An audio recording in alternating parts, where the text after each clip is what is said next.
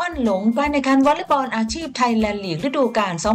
2023-24 ซึ่งปรากฏว่าในฤดูกาลนี้เป็นทางนครราชสีมาคิวมินซีวีซีที่คว้าแชมป์ไปได้ทั้งประเภททีมชายและหญิง โดยล่าสุดทางสโมสรได้มีการจัดงานเลี้ยงฉลองดับเบิลแชมป์ซึ่งนักกีฬาที่เรียกได้ว่าสร้างเสียงฮือฮาได้มากที่สุดคงจะหนีไม่พ้น เต้ยอนุรักษ์พันธุ์รัมย์นักวอลเลย์บอลทีมชาติไทย ที่แต่งตัวแบบจัดเต็มมาร่วมงานในครั้งนี้สำหรับอนุรักษ์พันรำถือเป็นลูกยางคนสำคัญ ทั้งในสโมสรและทีมชาติไทย โดยอยู่ในชุดแชมป์วอลเลย์บอลชาเลนจ์คัพ